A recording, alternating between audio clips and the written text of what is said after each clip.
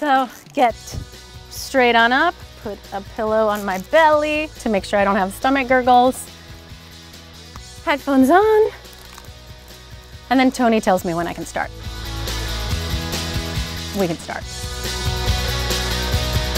Oh, hey guys. Come on in. Um, I'm Rebecca Soler. This is day three of audiobook recording for Sarah Dessen's latest book, The Rest of the Story. Let me take you in the studio. Studio A.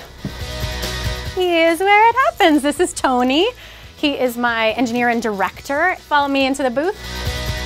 Two levels of soundproofing.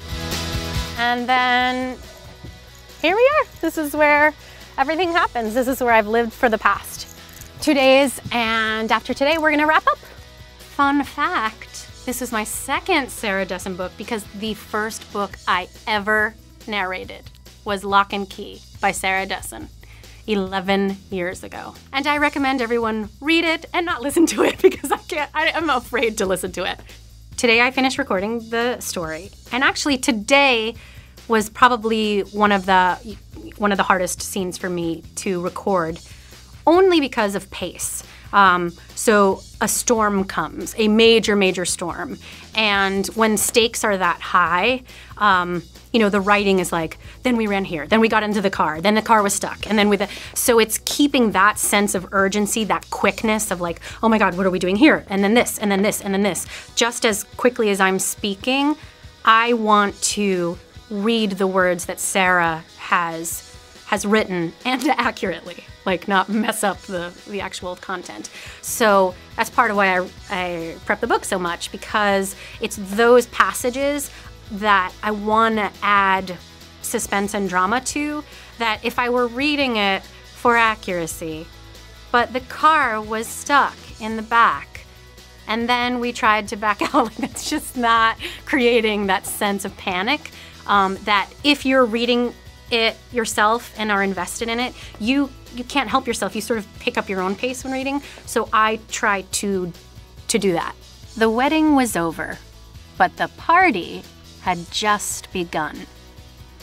It's just so romantic, my best friend Bridget said, picking up the little glass jar of candy from her place setting and staring at it dreamily.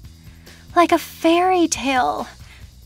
You think everything is like a fairy tale, my other best friend Ryan told her, wincing as she reached down yet again to rub her sore feet. None of us were used to dressing up very much, especially in heels. I think first and foremost, I'm an avid reader. I'm always reading something, just whether or not I'm narrating it or not. And for me, I know how many years authors take to to write these pieces of art.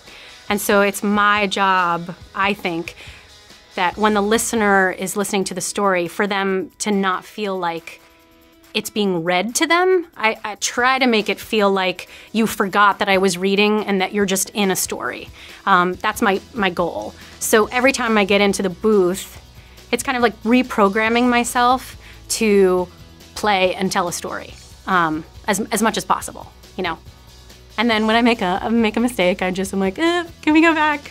Can we do that again? Or even sometimes it's not that I made a mistake, I just didn't feel like I liked the way I said it. So, um, you know, patient directors and engineers go back, and then we do it again.